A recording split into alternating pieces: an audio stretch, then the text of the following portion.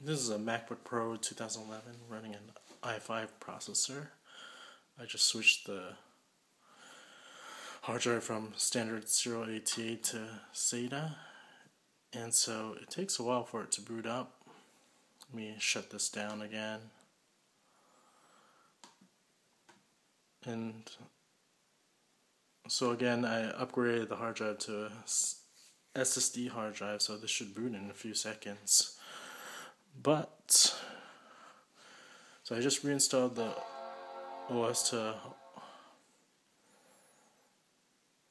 Lion or Maverick, it doesn't really matter, but you can see how long it takes to boot up. So the solution is to go into settings, startup, and make sure it's selected to um, the SSD hard drive by default, it might be looking for the USB flash drive or the USB CD drive that it was installed from. You can see over there it says no good.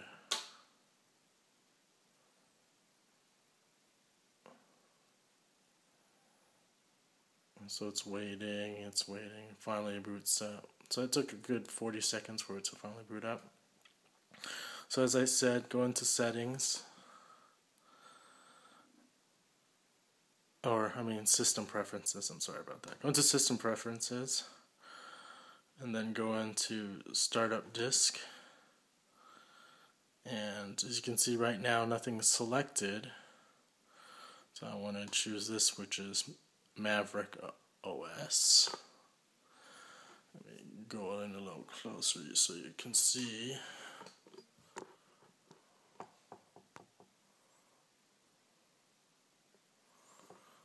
So again, you want to go into System Preferences and select Startup over here. Um, I might as well just take this out and show you.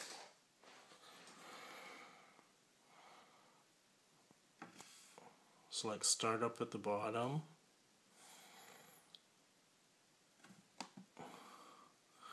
And make sure the hard your hard drive selected, your SSD hard drive selected.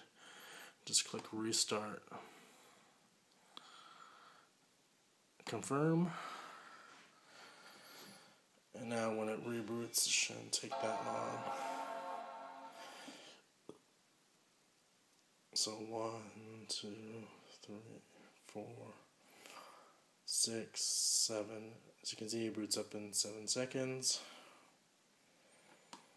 Let's try this again with the cold reboot. Let's shut down. So if you're upgrading your SSD, just remember to go into System Preferences. Rebooting right now. Go to Startup and then make sure to select your SSD hard drive and restart. It should only take 10 15 seconds for it to boot up with your upgraded SSD. So there you go, faster boot.